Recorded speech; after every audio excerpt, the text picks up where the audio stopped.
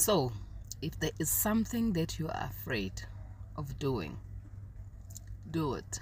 If there's anything that you feel like starting, but fear is stopping you, do it. Because guess what?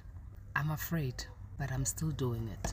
There's a lot that I need to do, and I am so afraid, but I am still going to do it. So don't stop. Don't let fear get in the way. Do it. Let's do it.